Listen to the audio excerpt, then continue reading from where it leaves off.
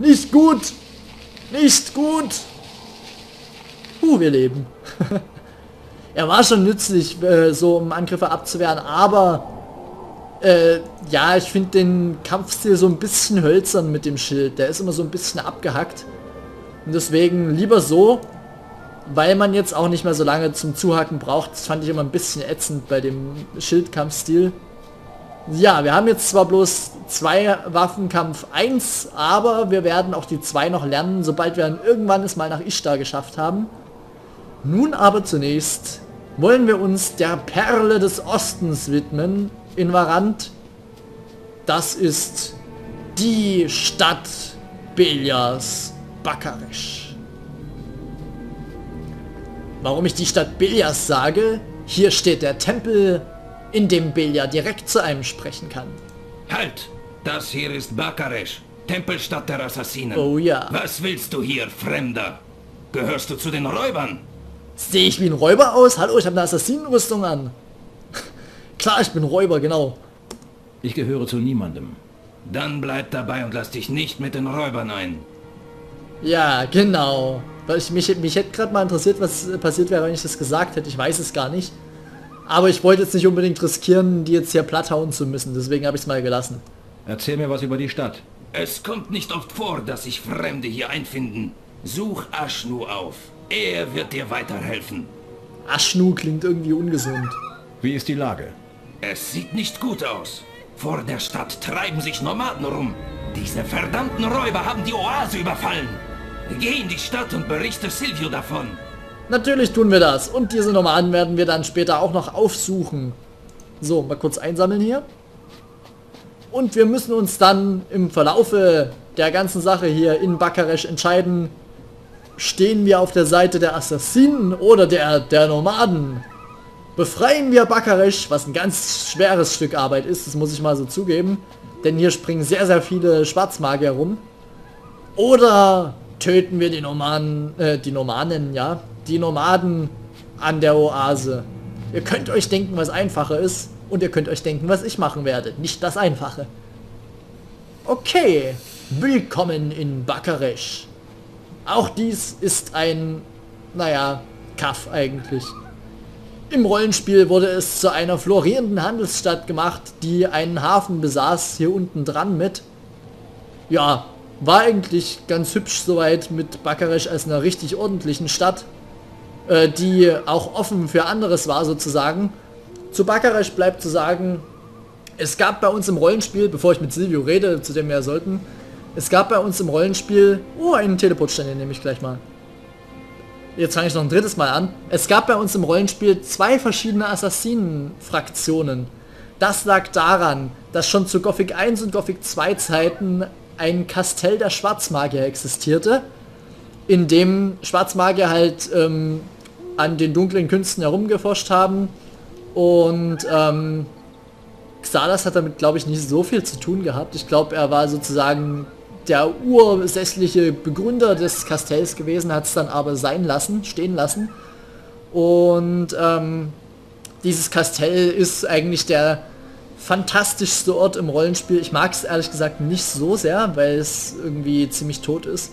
Aber es ist der fantastischste Ort im Rollenspiel, insofern, dass dort alles passieren kann.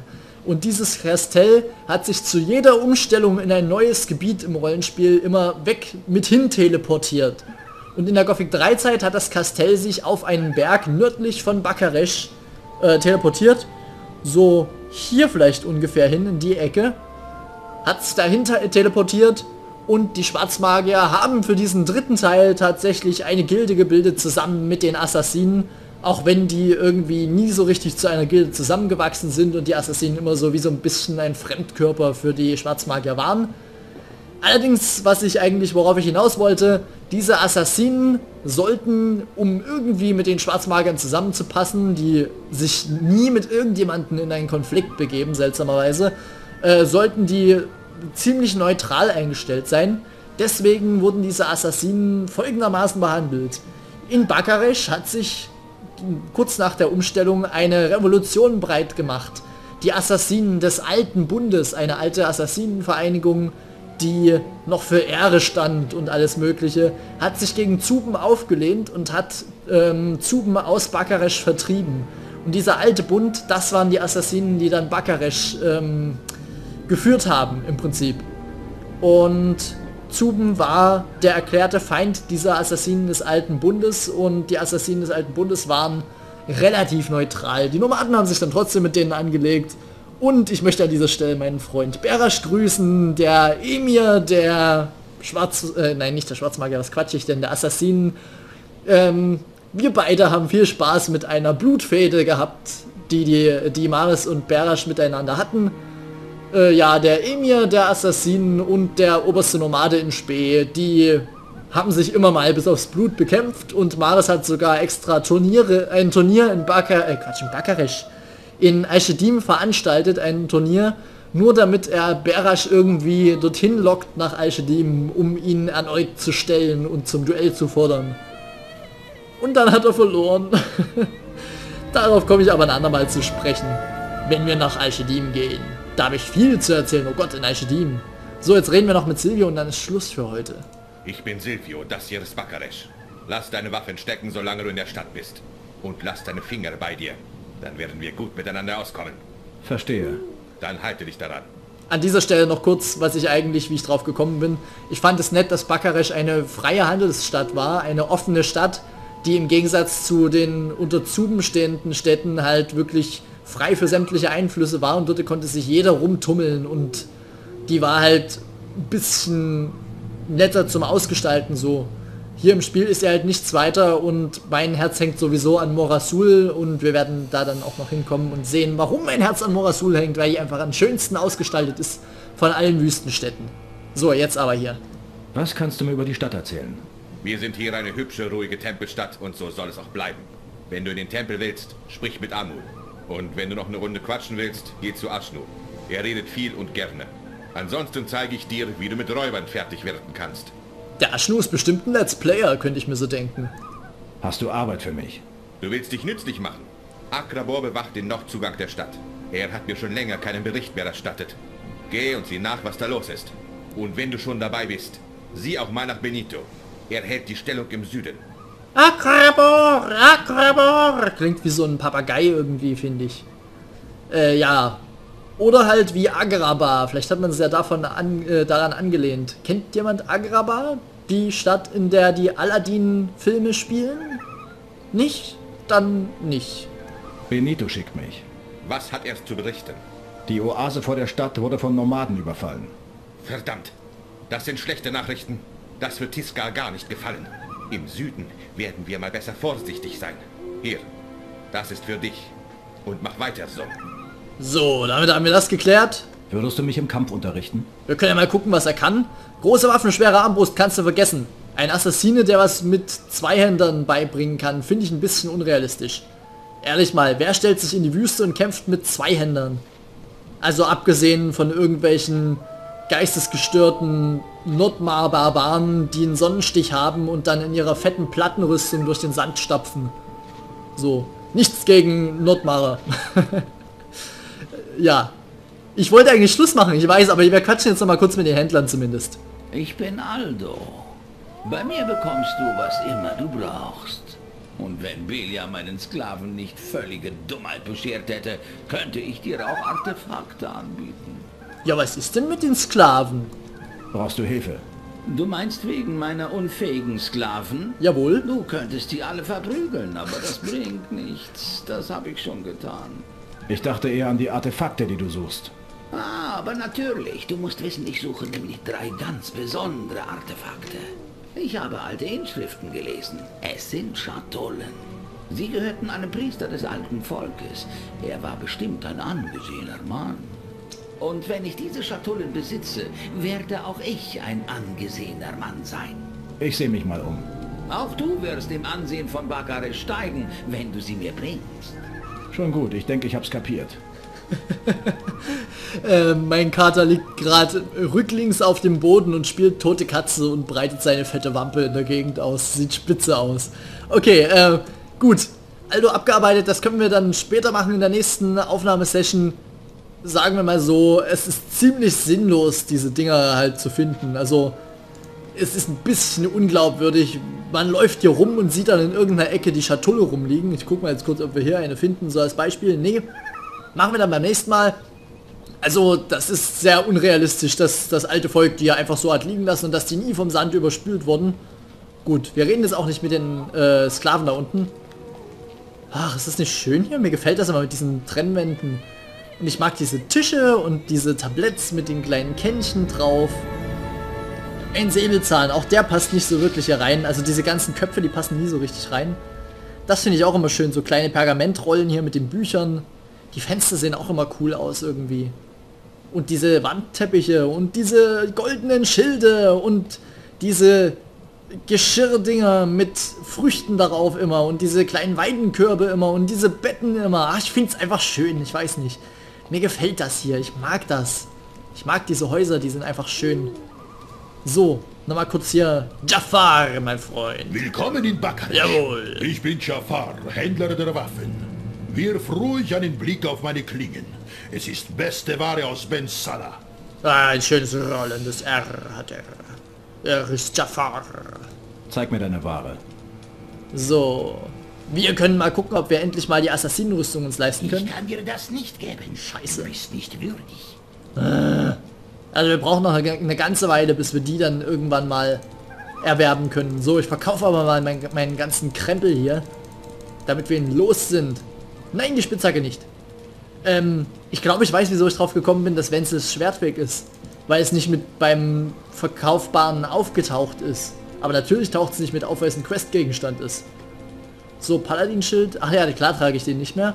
Ich lasse ihn trotzdem mal da. Ähm, falls wir doch mal besser kommen mit einem Schild. Falls irgendwo mal ganz viele Fernkämpfer sind oder sowas. Okay. Noch hier Tierzähmen und Nebel weg. Ich benutze keine Magie. Tut mir leid, das werde ich nicht tun. So. Noch irgendwas? Ne, den ganzen kleinen Krempel, den lassen wir. Sind 6.990, klingt gut. Tauschen. Okay. So, Jafar ist abgearbeitet. Ashnu und Carlos. Willkommen, Pilger. Ich bin Carlos, Händler der Sklaven. Er ist Carlos. Wie laufen die Geschäfte? Na, bisher lief es ganz gut. Ich kann mich nicht beklagen. Allerdings könnte ich trotzdem etwas Hilfe gebrauchen. Was kann ich für dich tun? Ich habe da noch ein paar Sklaven, die ich nicht loswerde. Hör zu, Aldo ist ganz verrückt nach alten Artefakten. Er hat bereits einige Sklaven von mir gekauft, die er buddeln lässt. Und? Das Problem ist, in den Ruinen gibt es Gefahren. Gefahren, die Sklaven auffressen. Solange die Ruinen nicht sicher sind, wird Aldo auch keine weiteren Sklaven kaufen. Verstehe. Wir sollen also die Ruinen freiräumen. Ich werde mir mal die Ruinen ansehen. Mach das, mach das. Wenn Aldo meine Sklaven kauft, kriegst du deinen Teil ab. Yippie Skippy, das ist super. Die Ruinen von Bakaresh, eine neue Queste. Gut, wir gucken mal kurz hier. Ähm, ja, hier, das meinte ich mit diesen kleinen Gewürzfächern immer und den Früchten. Und das sieht aber auch lustig aus. Und das ist irgendwie so, so, so schön liebevoll gemacht. Ich weiß auch nicht. Das ist doch auch schön hier, oder? Das ist doch wunderhübsch sowas. Deswegen lasse ich die Kaktusblüte da auch stehen, weil sie wunderschön drapiert ist. Das hier oben ist auch cool. Ja, hier ist es schön. Ich mag hier bleiben. Das ist cool. Noch cooler wäre es, wenn man die Bücher so wie bei wie bei den ganzen Elder Scrolls Teilen rausnehmen könnte und sich angucken könnte. Da hätte man so viel Inhalt reinbringen können. Ich finde das wunderschön bei den Elder Scrolls Teilen, dass man sich die, Buch, äh, die Bucher, ja, die Bücher angucken kann und dass man da so unglaublich viele Geschichten drin findet, weil man dadurch unglaublich viel Inhalt noch zusätzlich reinbringen kann, einfach nur mit Geschichten, die man schreibt. Und man da unglaublich viel Ideen noch ziemlich einfach mit reinbringen kann. Okay, ich musste gerade mal, war gerade abgelenkt, weil das Katertier jetzt mittlerweile dazu übergegangen ist, irgendwelche Klamotten zu jagen, die herumliegen. Willkommen in Bakaresh, Pilger. Ich bin Ashnu. Wenn du Informationen brauchst, meine sind Gold wert. Ja, du bist der, der viel redet, das glaube ich irgendwie nicht so richtig. Was kannst du mir über den Tempel sagen? Der Tempel ist das Heiligtum Beliars. Wir spenden den Schwarzmagiern Gold, auf dass sie seinen allmächtigen Zorn besänftigen. Wenn du beten willst, wirst du mit der Statue hier unten Vorlieb nehmen. Der Tempel bleibt allen Fremden verschlossen. Und nur Amul alleine entscheidet, wer den Tempel betreten darf. O Pilger. Ja, wir müssen es uns erst verdienen, den Tempel zu betreten. Wie überall gibt es auch hier etwas, wo wir Ruf für brauchen, um reinzukommen. Was kann ich tun, damit mich Amul in den Tempel lässt? Du kannst natürlich für Silvio arbeiten. Vorausgesetzt, du bist ein gesetzestreuer, starker Sohn des Kampfes. Dann kannst du auch in der Arena kämpfen. Und? Gibt es noch mehr Möglichkeiten? Nun, wir Händler aus der Stadt müssen den Schwarzmagiern unseren Tribut zukommen lassen. Wenn du Amul unser Gold übergibst, wird er sehen, dass du unser Vertrauen genießt. Erzähl mir was über die Schwarzmagier. Die Magier kümmern sich um alles. Sie beten für uns zu Belia. Aber sie kümmern sich auch um den Tribut und um unseren Schutz. Ihr Wort ist uns Befehl, und an ihrer Spitze steht der alte und weise Zuben. Doch ihn wirst du hier nicht treffen. Er wacht über uns alle in seinem Palast in Ishtar. Lasst mich Amul euren Tribut bringen. Natürlich werde ich deinen Wunsch unterstützen, Sohn der Großzügigkeit. Also dann, was ist zu tun? Du musst Jafar, Carlos und Aldo überzeugen. Wenn sie ihr Einverständnis geben, komm wieder zu mir. Dann überreiche ich dir den Tribut. Ju, okay, überzeuge die Händler, das machen wir alles das nächste Mal. Haben wir jetzt noch irgendjemanden hier ausgelassen? Nein. Jetzt besser. Das tue ich sehr gern. Okay, dann würde ich sagen, dicker Aschnu, hatte ich dich schon, Jafar? Ja, das hatte ich. Nun gut. Hier ist übrigens der Belia-Schrein. Belia. Nur mal so kurz, also das ist nicht der, über den wir zu Belia beten können, sondern das ist die Leitausgabe für jeden, der so angekrochen kommt. Aber auch die finde ich schön, so diese kleinen Wegschreine, wo man dann so mit nebenbei dran gehen kann. Das finde ich irgendwie hübsch. Okay. Wenn man irgendwelchen Krach im Hintergrund hört, der Kater zerfleischt gerade irgendwas. Deswegen muss ich jetzt auch unbedingt gleich Schluss machen, weil der gerade totalen Rappel kriegt. Du Geistesgestörter! Okay, Verzeihung. Ja, wir setzen uns jetzt am besten einfach hier oben hin. Was ist das eigentlich? Ach, das ist sowas hier zum, so, so eine Pumpe hier zum Schieben. Wir können nicht schieben. Wir sind kein Ochse. So. Nee, komm, der schreit zu sehr. Hier mache ich nicht Schluss. Ich gehe mal wieder hier hin. Mufasa, der vielarmige. ja, also kommt dann noch beim nächsten Mal. Wir werden dann natürlich wieder Arena-Kämpfe durchführen. Und jetzt werde ich mich erstmal, ich pack mich jetzt hier an die Wasserpfeife. Komm. lieber, sonst kriegen wir beide noch Ärger. Ich will die Wasserpfeife. So. Das ist ein würdiger Abschluss für diese Folge, die wirklich lange ging. Ich glaube, ich habe jetzt vier Stunden aufgenommen. Okay. Ähm, hat mir sehr viel Spaß gemacht heute, auch wenn man zwischendurch beim Tempel von Bensala wirklich nicht das Gefühl hatte, wahrscheinlich bei mir. Ähm, ich bin so froh, in der Wüste unterwegs zu sein. Mir gefällt es hier einfach. Wir werden beim nächsten Mal uns Bakaresh angucken und die Aufträge hier machen. Und wir werden es bestimmt schaffen, uns nach Al-Shadim durchzuschlagen und dort ein bisschen weiterzumachen. Mal sehen, ob wir es vielleicht sogar nach Morasul schaffen, weil Al-Shadim ja keine richtige Stadt ist. Und ja, dann würde ich sagen, wir sehen uns beim nächsten Mal wieder und bis dahin gehabt euch wohl und tschüss. Bis dahin.